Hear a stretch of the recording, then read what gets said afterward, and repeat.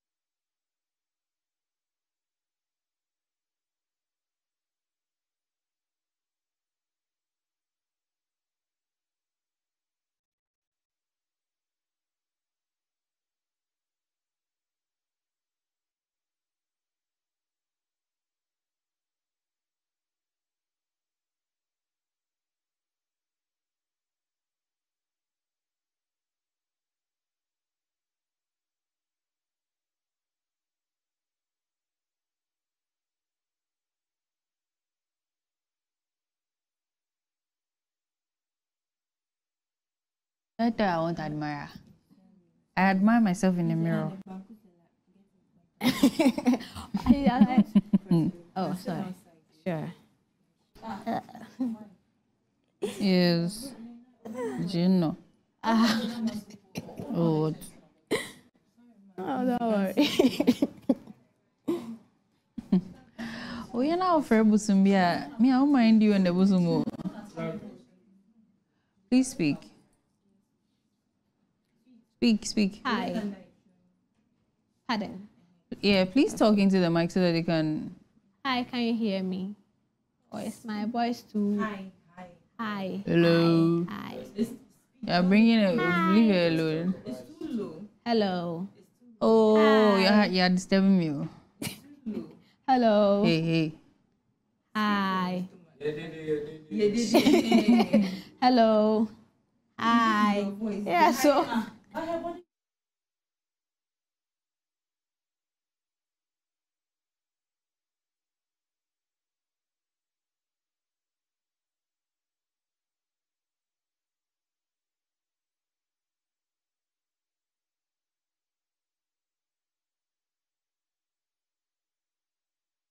Wabidek.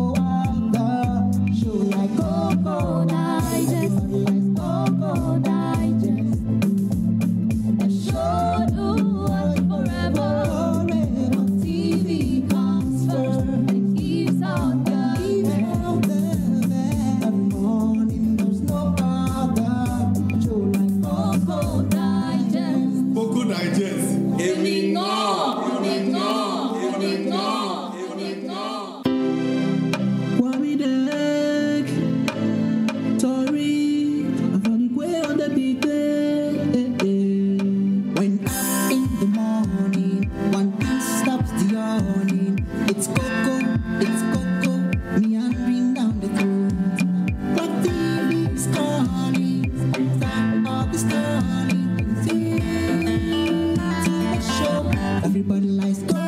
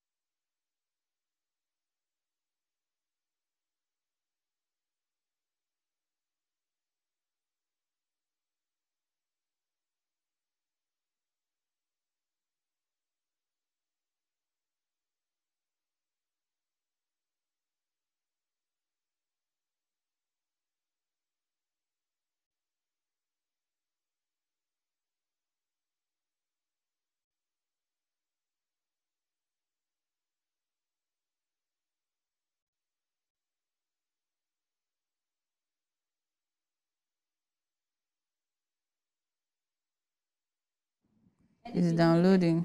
Cloth tour. You could.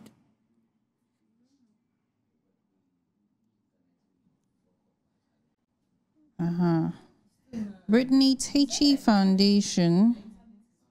Up to where? What's it women and children? Children.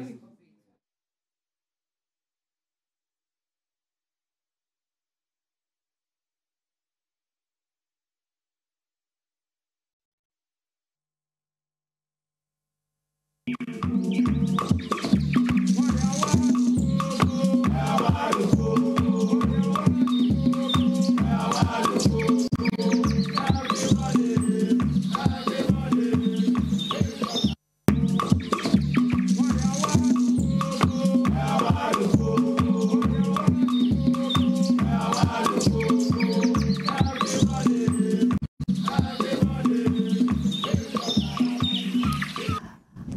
welcome back to the Koko Digest Morning Show. If you are just tuning in, this is the Koko Digest Morning Show, and you missed some amazing segments, especially the lifestyle segment on friendship. But not to worry, you can always stream it on Facebook or YouTube. You can just watch the playback and then learn something today. Now it's time for our main discussion, and I have here with me Miss Brittany Techi, and she is the founder and CEO of the Brittany Techi Foundation. And today we will be discussing the importance of regulations and self-governance in the NGO sector, as well as touching a little bit on how NGOs run and the projects that she has also undertaken with her foundation. So let me read a little background to the Brittany Techi Foundation. And so the Brittany Techi Foundation is a non-profit organization dedicated to empowering marginalized communities in Ghana, founded by our very own Miss Brittany Techi. And their mission is to provide essential resources and support to underprivileged individuals, particularly children and women. So let's meet her and let's get interactive. So, hello, Miss Brittany. Hi. Thank you so much for joining us today. I'm happy to be here. Yes. So, you run the Brittany Techi Foundation. Yes. How long has it been? Um, right now, fourth year. You're in your yes. fourth year. Okay, so can you give us just a little history of the Brittany Techi Foundation? What inspired it? I mean, your mission and vision has already given us some kind of background or insight into it, but what inspired? Um, I would say my parents. So my Okay. parents used to run a youth shelter when I was a child. Okay, Yeah, in the early 2000s. okay, And I also had it to actually continue the good work that they had been doing. Okay. Yeah. So somewhere, then when I was in SHS, I used to see little children walking barefooted and things. And then- yeah, So I also decided that I'll take it upon myself to do some projects that would actually help these little ones. So in 2020, I started planning, and then in 2021, we had our first project. okay. Before we get into the project, how do you even start an NGO? So um, first, it's on you, the person, to Okay. Mm-hmm. be dedicated, and then you can start little by little, either volunteering, helping Mm-hmm. in church project, Okay, helping our work, then little by little. But then, um, if you want it to be sustained, it has to be more or less formalized. okay, So you come up with a group of others. Mm-hmm. You start projects visiting whichever area you choose to work on, and then you go ahead with your registration. That is, if So do you just get up and start projects or you have to, there's some rigorous processes you need to follow? Um, so we don't just get up and Okay. start projects. Um, we mostly do research, which is groundwork, I call Mm-hmm. It. Yeah. So depending on what we want to do, yeah, we do research. If we're working on schools, it means that we have to go to the vicinity, scout for the schools. Yeah. and with the schools like this, you also have to go to the district office of education for the school because you need a permission letter from them. Yeah. So. Okay. So do you do you just come together and decide okay we're an NGO or you go to like maybe some center for NGO registration forum or something? Are there you know regulatory bodies that you need to consult to officially become an NGO? Yes, um, you need to register with the um, register of companies, and then you need to also get. Um, for most organizations, you need to also get uh, social welfare Okay. registration as well. Yeah. Okay, so these are the two main things you Yeah, need to get. main. Okay, so are there any other bodies that you like, based on let's say our legal terms, like in the legal aspect, where in the books or in theory this is what's supposed to happen, even though it may not be happening? Are there any other legal bodies that you need to consult? Um, yes. So depending on the area or what you want to work on, sometimes you have to work with the traditional authorities. Yeah. Some cases you have to involve the police. Okay. And well, it's it's like every sector and what needs to be done. Okay. Like sometimes you even have to involve standard authority, Authority, as okay. well. Yeah. So it's every project and then the order Okay. of command you need to follow. Okay. Yeah. So, cherished viewers, please be reminded that our phone lines are open. You can call and then ask your questions. You can send in your text messages, your shout outs, your suggestions, your questions as well. We will read them, and then Ms. Brittany Tichi would also answer these questions for you. So, yes, back to this NGO. So, do you have a license or the license to, does it expire? Do you have to renew? Because, I mean, a lot of us just know of NGOs, but we don't know what actually goes into NGOs. Um, so um, yes, there is the company certificate Okay. and then the social welfare, and you also have to like, even though it's a non-profit, you have to file your taxes, which will be Mm-hmm. Nil nil. But then you have to always keep in touch with the company, uh, the, the registry department. Okay. Yeah.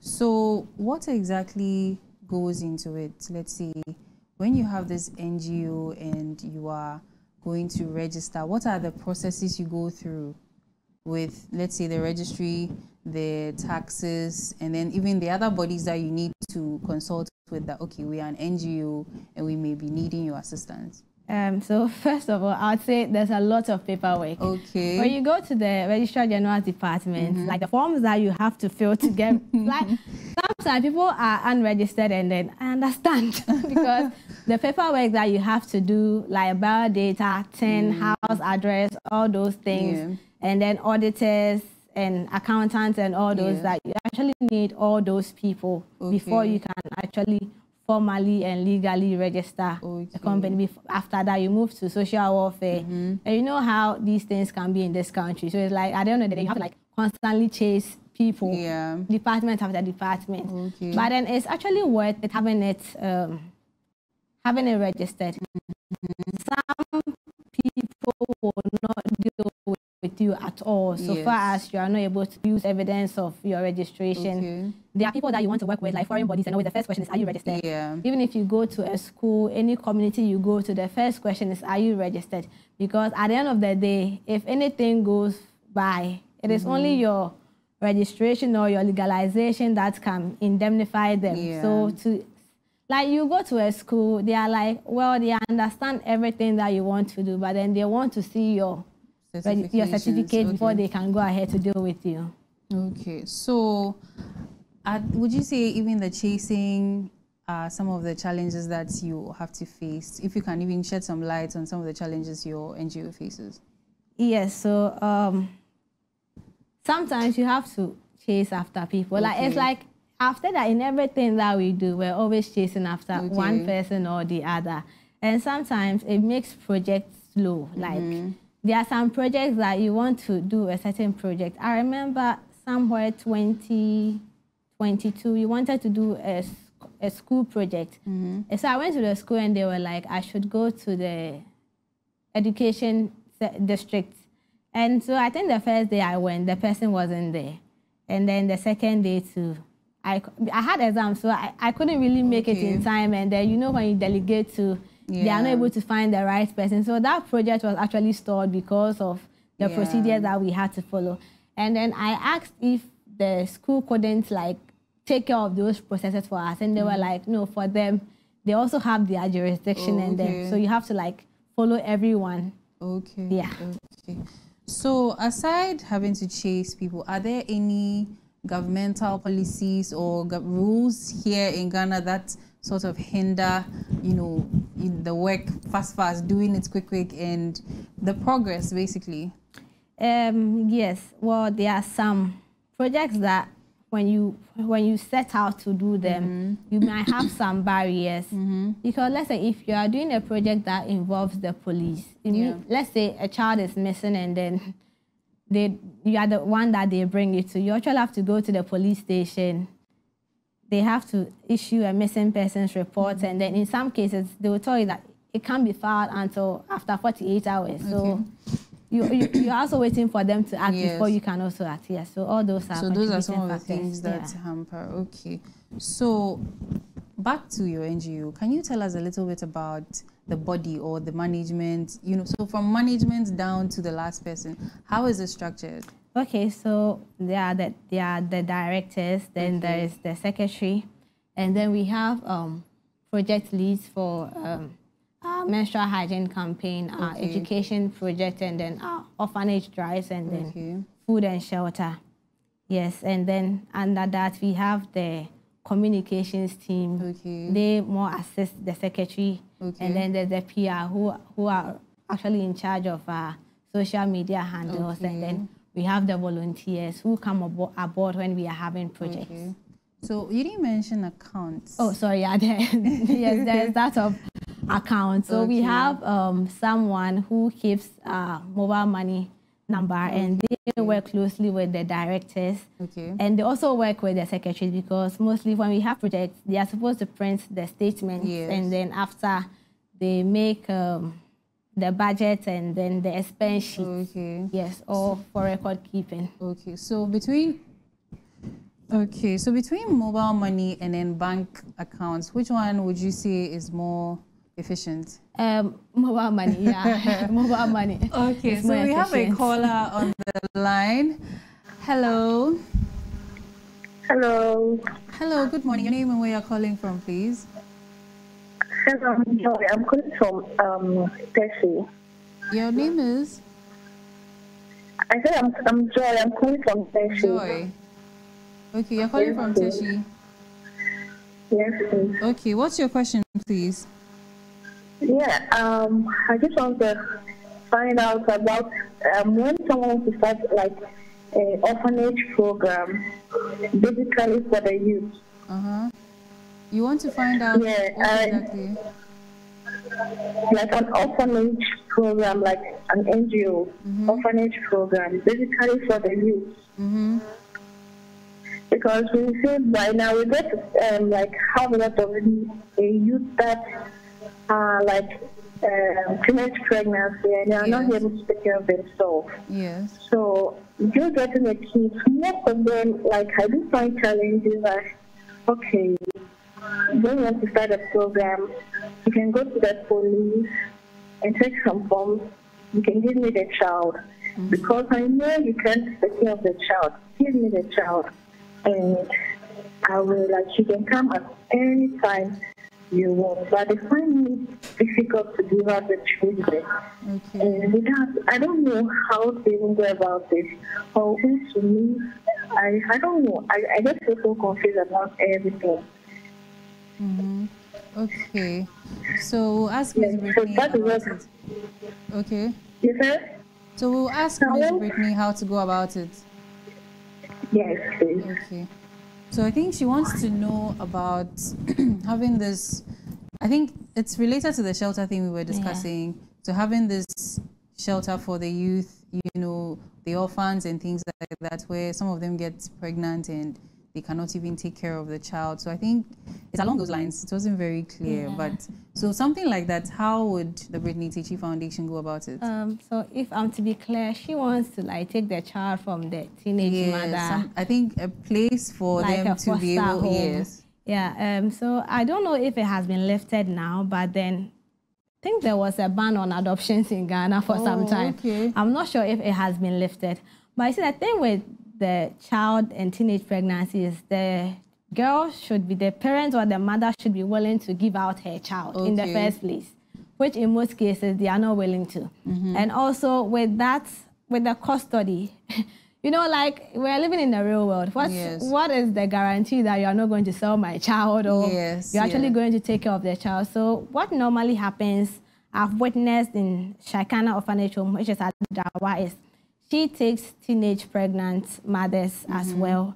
And then she keeps them in the orphanage along Okay. with the children so that the child can actually grow up. And that one, the, the girl is at liberty to either live or leave or live with the child or Okay. leave and then leave the child behind. Depend because you can't hold the person Yes. hostage. If the person doesn't want your help, Yeah, There's nothing you can do about it, yeah. But it seems there may not be a lot of that. We find with these NGOs maybe donations and things, but you don't like the one you just mentioned. I'm not sure a lot of people even know about it.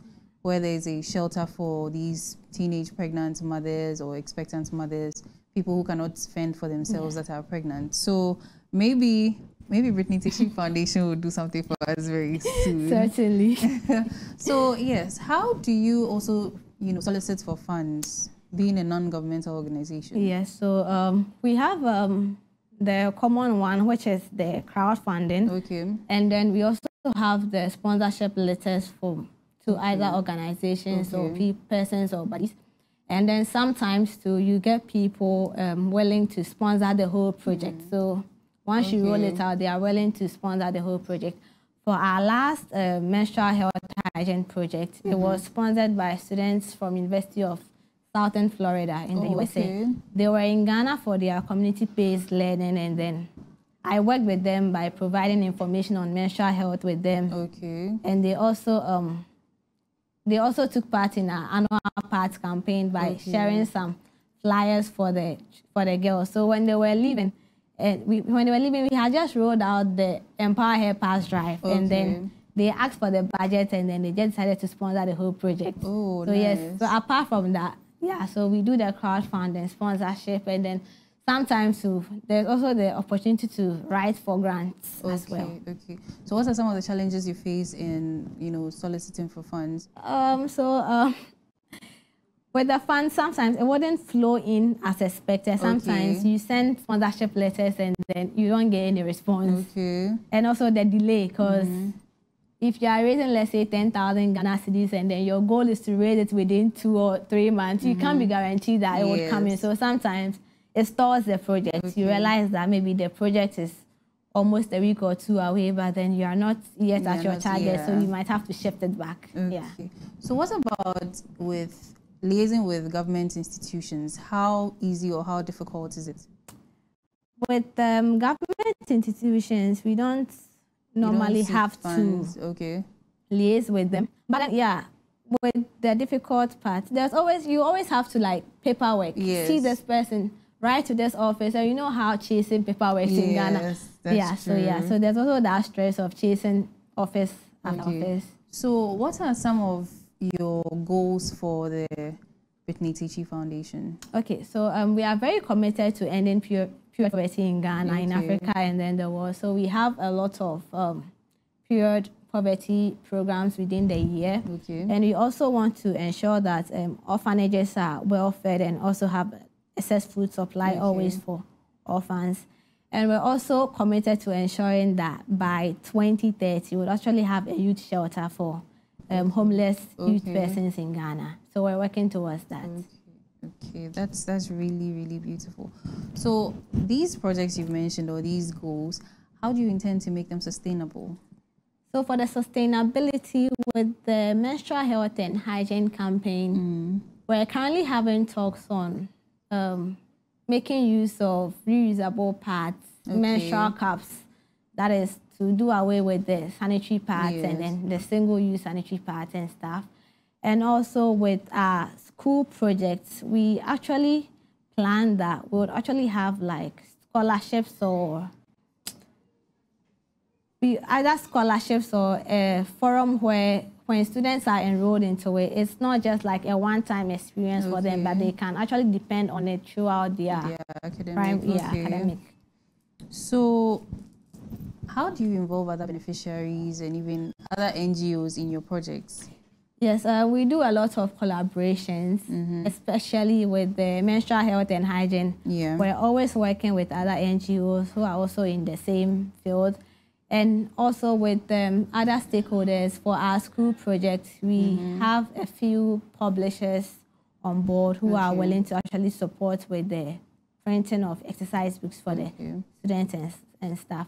And also with the orphanage project, we're currently on talk with some farmers so that they would be able to um, give excess produce or some part of their produce to orphanages to keep them active and running. All right. Thank you so much. We'll be taking a short break. So yes, it's getting really, really interesting here with Miss Brittany Tichy. She's telling us all about her NGO and how it's managed, everything about running an NGO. But we'll be taking a short break. Right after the break, we'll go into the projects and learn about the menstrual health campaign, the back to school campaign, and all the other campaigns that she's had so far. And so that if you are also looking for an NGO to join, you can contact her and be a volunteer, help your society. We'll be right back.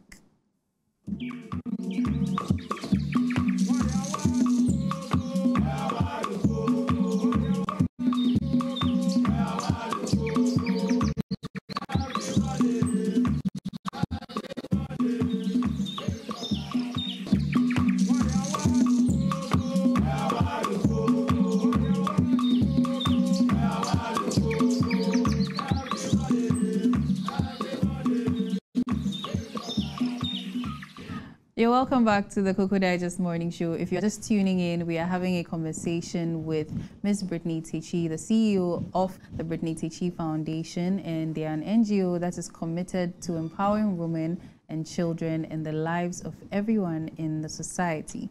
So we were learning about how to run an NGO, how an NGO faces all those legal issues, but now we're about to talk about the projects that they have undertaken and some of the things they intend to undertake as well. So yes, also be reminded that you can call in, ask your questions, send your suggestions, send your comments to our Facebook and YouTube live stream and our WhatsApp number on your screens. So yes, Ms. Brittany, your back to school project, can you tell us about it? What it's all about? Um, so the back to school project focuses on ensuring that students have the right stationery that Okay. they need because um, basic school is free in most places, like the government schools. So we work more with the government schools Okay. in rural or un- underprivileged communities. So we ensure that they have the books and then the stationery that they need to actually thrive in school.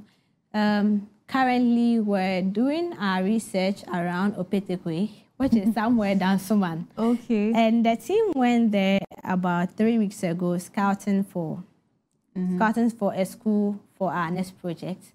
And then for the research that they did, some of the schools there, even though it's in Accra, were inaccessible. Like yeah. you can't take a car to get there. bad. It's like there's no road. I don't know if you know how deep, deep Accra chocolate houses are. Pass through someone's backyard, Yeah. someone's front porch before you get to the school. And then like I, I would have shared the pictures with you, but then it, it just came in. And then um, Okay. I, I was asking them, so is this really Accra? And they're like, they play. Wow. Yeah, so- there are there are places here, even in Accra, that Yeah. are like rural areas. very wow. rural. So, and then we went. So per their research, sometimes if um, let's say a JHS people needs 20 Mm-hmm. exercise books to like sometimes the parents can only afford five, yeah.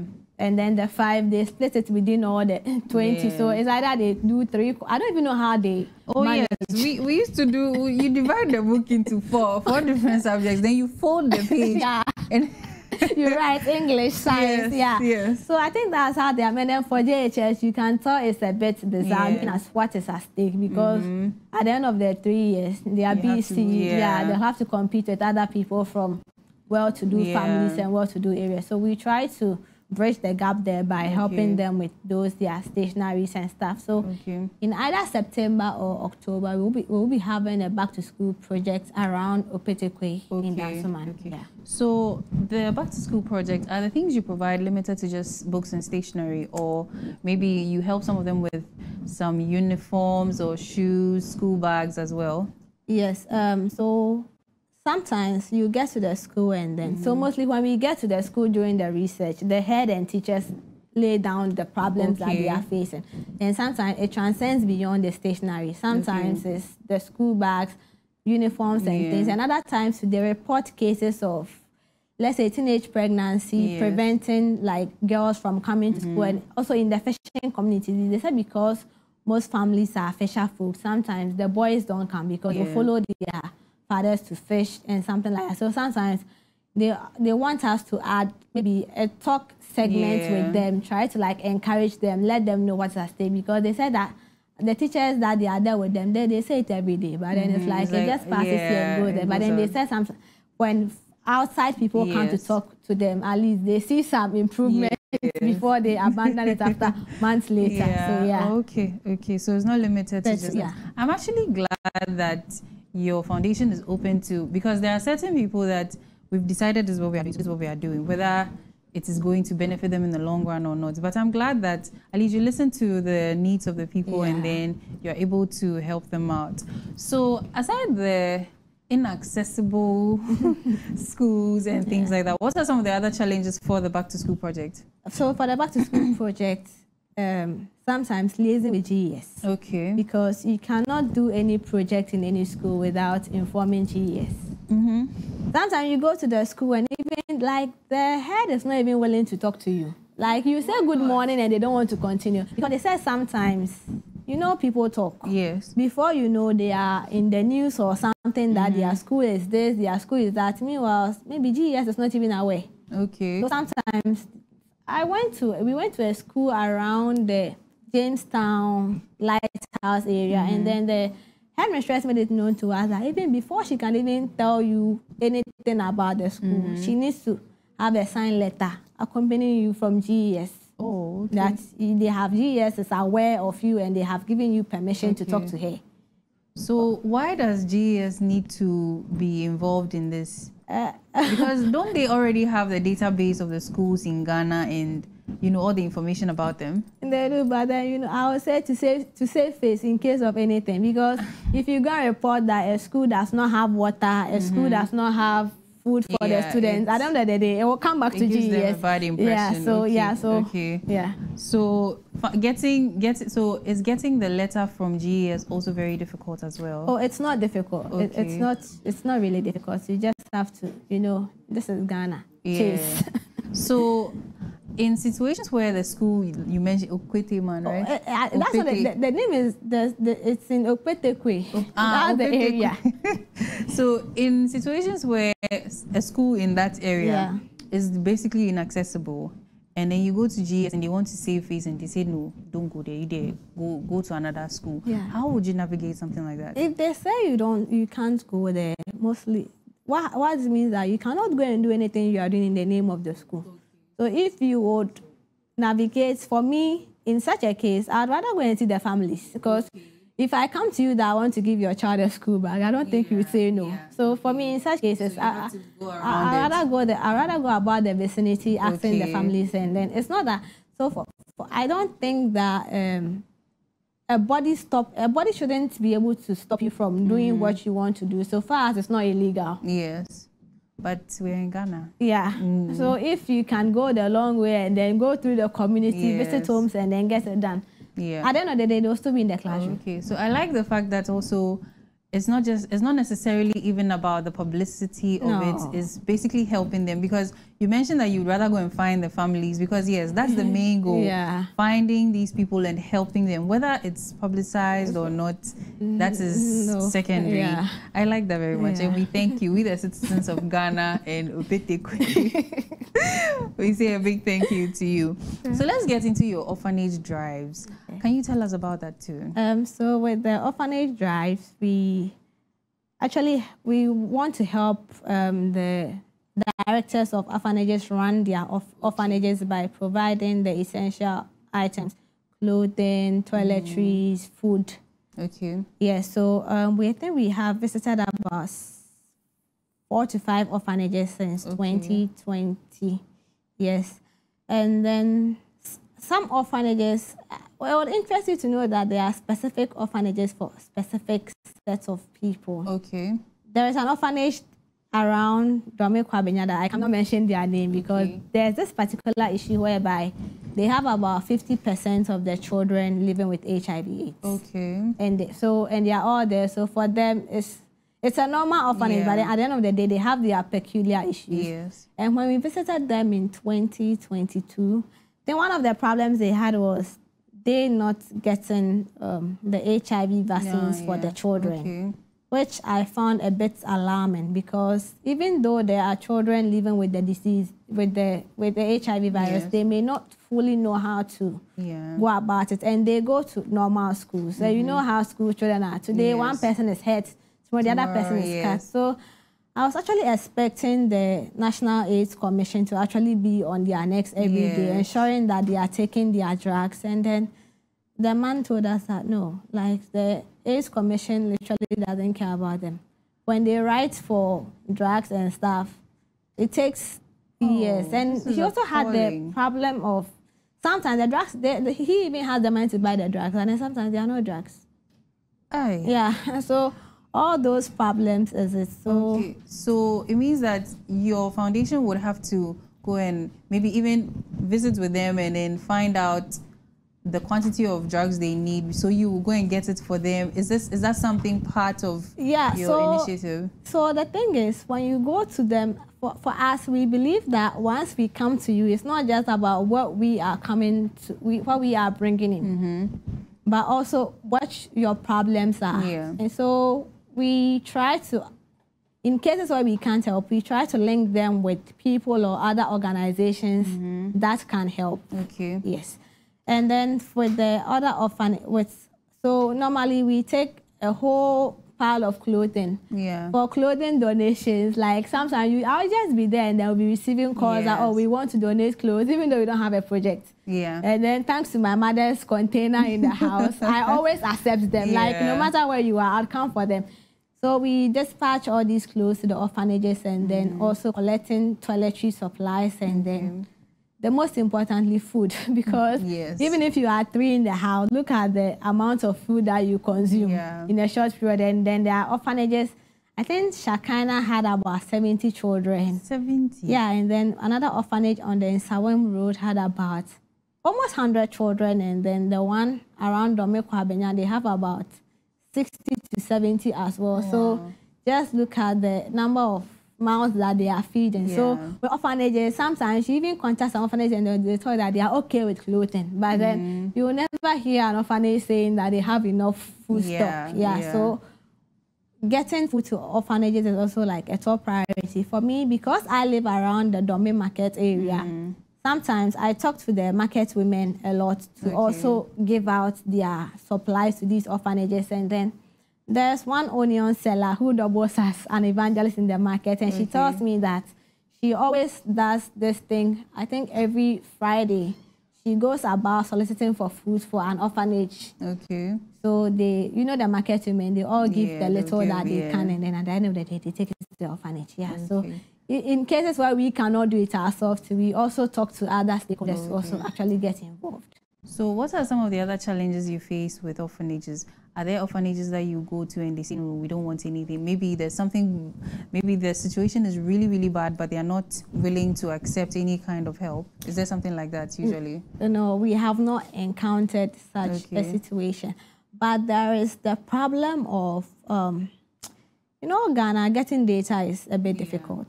So we plan on having extra. You know how Uber you type or Google Maps, like you know where every restaurant is. You know, so we're trying to like map those places so that when people also want to donate items to orphanages mm-hmm. with their items and whatever their Yeah. mandate is, they know where to go. Okay. Because let's say if you go to the, I think New Life Orphanage around Nungua, sometimes you go there and then they tell you that they already have enough clothes and books, but what they need is food. Okay. So if you have just food, you know where to take it to. If you have clothes, you know where to take it Okay. to. So we're trying to actually map and then document like Mm-hmm. orphanages in areas and things. Because some, you know, people in Ghana, are, it's part of our culture. People Yeah. like to give, Yeah. but just that sometimes they don't know where to give. Yes. So sometimes I would be there, would get calls from groups or organizations who want to actually embark on a, do- a donation project, just that Yeah. they don't know where to go. And even sometimes on people on their birthdays will Yes, call me, oh, I want to give this to this orphanage. Can you recommend a place where I can take it here? So we actually need to get enough data. But Mm-hmm. it's like what I realized that it's like almost every time I'm recommending the same six or seven. Yes. But then There in Ghana, there, more. there are way more. I believe Yeah. there are over 200 orphanages in this Accra Yeah, alone. Yeah, so we just need to document them and then know who is where and what they need. Yeah. Okay, okay, thank you very much. So yes, lastly, let's come to the menstrual health project. So what and what is the menstrual health project about and what inspired it? Because I know menstrual health is a bit of a sensitive topic. Yeah. And especially even with the fact that there has been some battle about taxes being placed on menstrual products. Why did the Brittany Tichy Foundation take this up? So, um, menstrual health, uh, our menstrual health project, we basically want to end period poverty by ensuring that young girls and women have easy access to sanitary products and also it's affordable for them. So, with the menstrual health, it dates back to 2020. It dates back to 2020. I think I read an article somewhere on how some people are unable to afford sanitary pads and then also reading about it and then we just picked it up right away that this one it can't wait if we don't, there are other organizations doing it but then look at the number of women and girls around you. And this is not like a once in a month issue. It's like a lifetime till menopause so yeah we actually took it up and then we started the advocacy and then soliciting for the tax to be waived. Well, I think currently there's about 33% tax on menstrual health products, and then they are taxed as luxury items, which to me doesn't make sense. There's nothing luxurious about menstruating, like nothing. So yeah, So that's actually yeah, the problem. you said you were soliciting for the taxi wave. How has that been going? How difficult has it been as well? There's been protests. Mm-hmm. There was a special protest in front of Parliament just for Yes. sanitary pads, the mm-hmm. tax to come down, and then they raised the issue of importation taxes and other things. Yes. But then recently, at first, we held the view that most of the sanitary pads are Were imported. oh, like, uh, no, they they are, were most of them are Okay. imported. But we have brands in Ghana. I thought they Yeah, manufacture we them actually here. have brands that manufacture, I think about two or three brands, and they are actually still on the same pricing Yes. level as the imported one. So, how is this a tax issue? Yeah. So, you know, for me, I think, well, it's not that I think, it is a profitable business. Yes, like, is. There's nothing you needing something like yeah. this every month. Yeah, Of course, this is So something to make me, money from. To me, at, at a point, I feel like we should even stop backlashing government and go on the companies that Yes. produce these stuff. But of course, the government is the regulatory body, so they also have to play a role. Yeah, yes, because if they put, let's say, a ban on taxation on, you know, these sanitary products, then the companies would also be forced because will if they, you don't, reduce it? no, if you don't comply, maybe there could be some down. sanctions Yeah. or shutting you down and things Yeah. like that. So yes, you embarked on a menstrual health project just recently. Yeah. So can you tell us a little bit about how it went? So um, this year we've actually had two so far. Okay. We've had the annual pass campaign, which we do on World Menstrual Health and Hygiene Day every year, which is 28th May. So Okay. Sometimes it falls within school day, so we just shifted back to a school day because Okay. you do we do with students and you want them to be in school. And then we had the Empower Her Pass Drive, which is actually the first of its kind. So with the World Menstrual Hygiene Day, we went to Oti region, Kwame Krum, Okay. To actually educate them on menstrual hygiene and then also donate sanitary pads to them. Okay. And then with the Empower Her, Hair Pass Drive, we went to um, Emampe it's Wow. around Bawjiase. It's actually in Greater Accra. Oh wow! Yes. There's a place in Accra called Pay. Yeah, Emampe here. Wow. So uh, when we went, the headmaster was actually telling us that they actually share a close border with Central region and then Eastern region. Because it's not far from Asaman Kese. Okay. And then it's also not far from Bawjiase, which is the Central region. Okay. And then the school is So actually in they're just Greater, there. Okay. Accra. And that place, like, uh, we have had about 10 menstrual health hygiene projects since 2021. And in Mampe here, it's like shocker. Wow. Like, shocker. what like, was the shocker? We want like, to know. like, like, like, sometimes when I think about it, I still get goosebumps on what went on there. Cause so in the course of, well, let me talk about how I actually heard of the school. So after the PADS campaign in Oti Yeah, region, okay.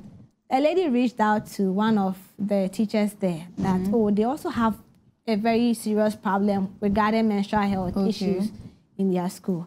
And this was like a week after past Mm-hmm. campaign. And then for us, it's like past campaign is once in a year. Yeah. So, So, as in where Ah, so, so, and then I was like, so initially I told them that okay, I'll refer them to other organizations Mm. who may be able to help. And then later we sat down and we're like, okay, so what if no organization is willing Yes. Mm. to? We can't just say as and when we can. So we just put up a project right away, and then we actually got a fully funded, a fully sponsored project. Mm-hmm. okay.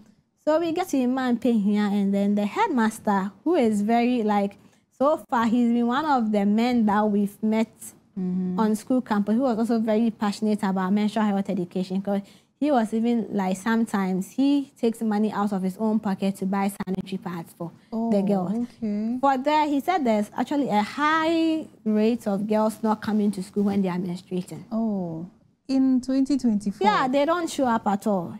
He said they don't show up at all. And you know how our periods were in SHS? Sometimes you get your period and you realize that it's not just you, the whole Yeah. dom. So it says, he said, ah, he, they started studying patterns that sometimes like half of the class, the girls are not in school for Yeah, one it particular week. sinks, yeah. and then they also got to, got to boil it down to not having sanitary pads. Yes. So we had a day bar. We spoke to about um, 70 girls Mm-hmm. from lower primary to upper primary. And then the, the, the conversations were shocking. Like they do not know how to calculate their menstrual Cycle. cycle. Oh and these people have been menstruating for like five, between one to five years. They do not know how to calculate their menstrual cycle.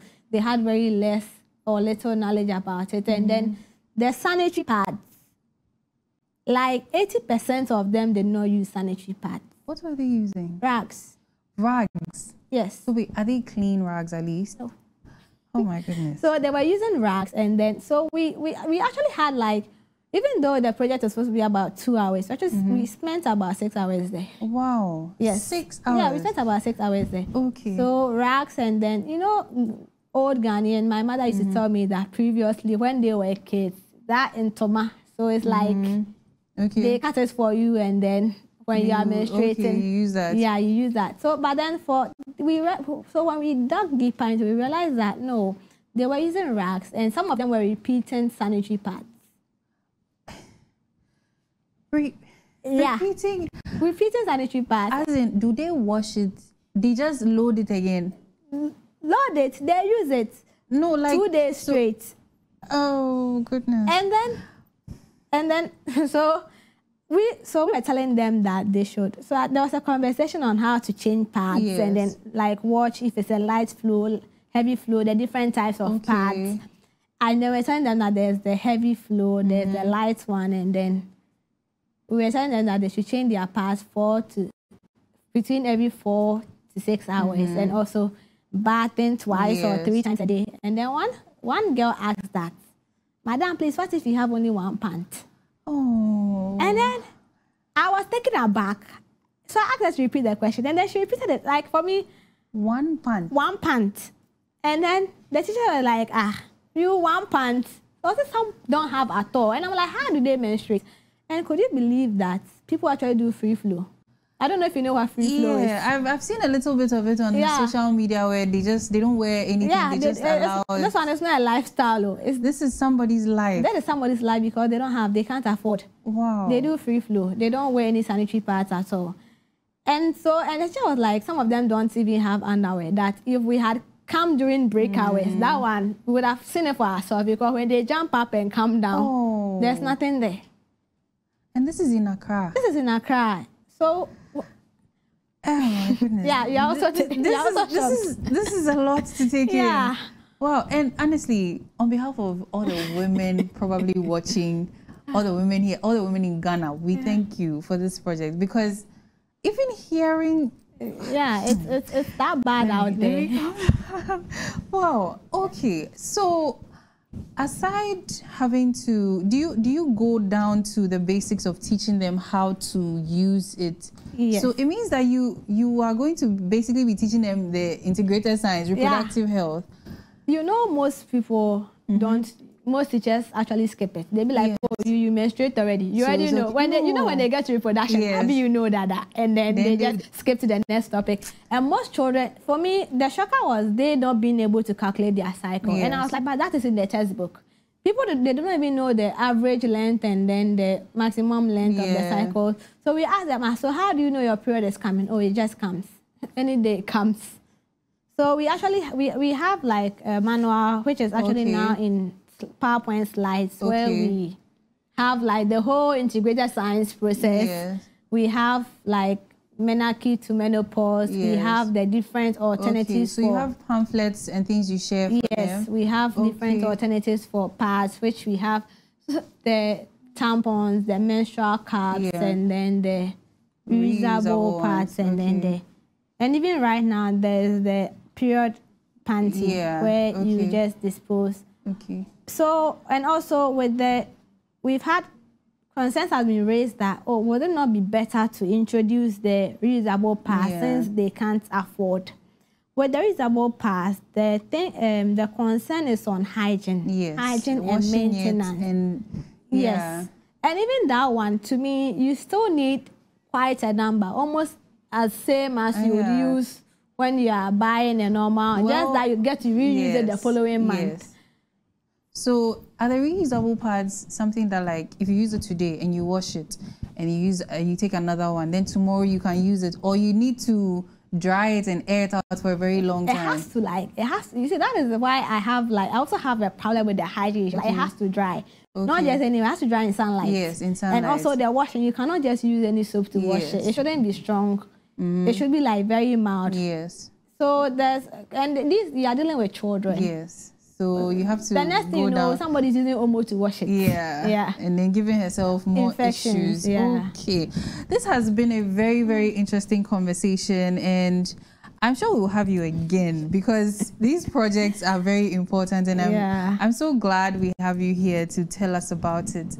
And so I have one more question about I, I think I should have asked earlier, but about accountability. How do you maintain how are you able to make sure that you're accountable to your team and even to the public? The public. So um, what we do is we run accounts on every project that Mm-hmm. we do. So with every project, we have the budget. Okay. Then there is the Momo statement that is of Okay. funds that came in for the project. And after we have the expense sheet. Okay. Sometimes we go all the way to sharing with with the appropriate Okay. whether if it's sponsors or Mm-hmm. maybe so you know with craft we, we actually have yeah. to have it to actually publish it on our websites for as part of our annual report but then sometimes because we've had a few projects sponsored by fully sponsored by individuals Mm-hmm. We for us we will send you the breakdown we will send you photocopies of all the receipts Yes. i always tell people that me if you want i we can come with you especially when we are going to buy things Yeah, so that you see everything. Every, everybody knows. So it's like even if you call this person in Yeah. anyone's absence, they can actually give you a breakdown of what we bought. And anytime we buy we buy something, we take receipts. okay. Okay. For places where they don't have receipts, we have our own receipt book. Okay. Then so you write it. in. write it, you sign, you put your number there. And I told them, some people are like, ah, are there three cities super receipts? So it's not for me. To Actually, actually, I will be a. You know, into the for number. So Yeah. in the future, someone can call you to make Okay. reference to this. Yeah. So for me, accountability is actually very much needed because sometimes well, just a little inconsistencies with accounting can mar your whole Mm-hmm. Image as yeah. a person and as an organization. So for me, we are very big on accountability, like Okay. letting everyone know how a single pesewa was spent. was yes. spent, Okay, yeah. that's very great. So, what should we expect from the Britney Tichy Foundation going forward? And even when is your next project, especially the menstrual health one? I mean, that one has my heart.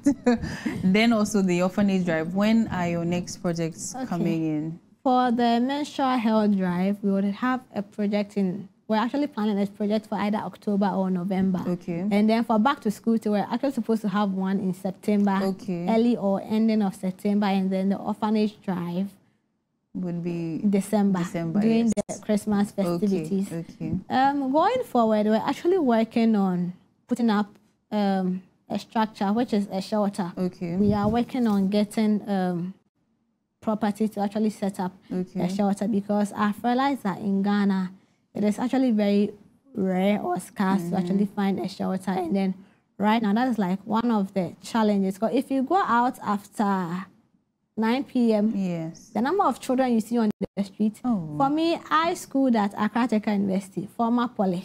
Yes. when I went to school in the first year, I didn't anything, I didn't know anything about Tudu life. Yes. So I think I was sick one night, and I know there's a pharmacy at Tudu. There was 9 p.m. So I just got out through the back gate, and even the security man was like, "Where are you going?" I was like, "Oh, me to a driver." He was like, "Hey, by this time," and I was like, "Oh, I really need it, so let me go and come." The number of people that had lined up, like sleeping, it's like they are just sleeping by the by the road. Oh. So it's like in the night, if like there's lights off and there's a trailer who also doesn't know his way in could Tudu, kill people. he would actually run about. eh, honestly, I counted over 150 people Wow. men, women, children. And you know, some people had actually slept and left their kids. Ah, and their kids are probably playing, awake playing. And then I'm like, somebody can literally just come and grab your child and go. Mm.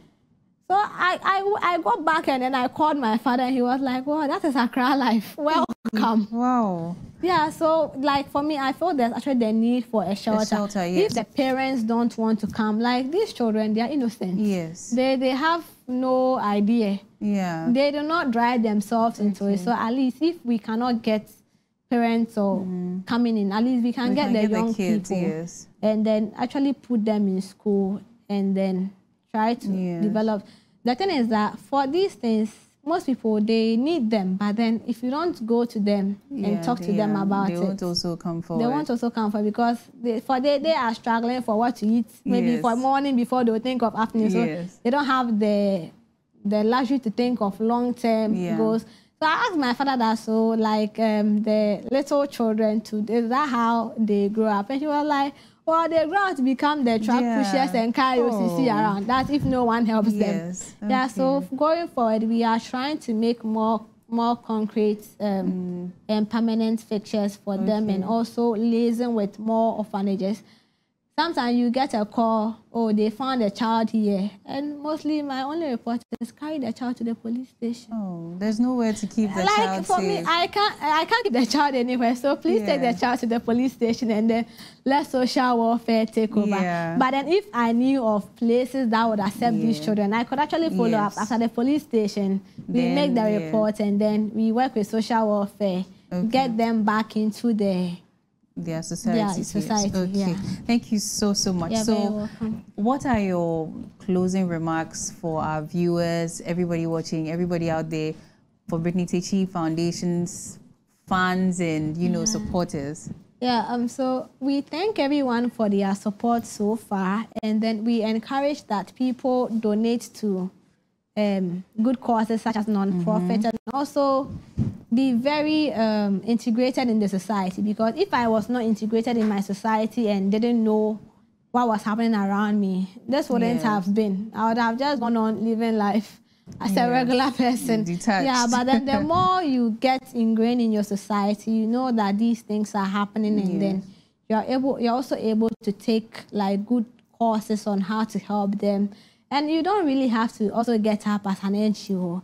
You can help out at church. Churches Yes. do these things, caring for the needy. You can also volunteer, and you can simply be a good sportsman in the community. Yes, report whatever true. you have to report. Yes. It doesn't always have to be a formalized structure. Like every bit, like every Counts, one yes. pound counts. Yeah. Okay. Thank you so, we so thank you. much for granting us this opportunity to interact with you. and we hope to see you again very, very soon. Certainly. Maybe I can beg my producers and directors to join you in your coverage for one of your drives, or maybe all of them. You know, you never know. We greatly appreciate it. Thank so you so yes, much. this this brings us to the end of the Koko Digest morning show. And a big thank you to you, first of all, my cherished viewers, for staying with us throughout. And a big thank you to our sponsors, a big thank you to the technical team, our management. All of this would not have been a success without you. We hope to see you again on Thursday morning, bright and early. Do have a blessed day.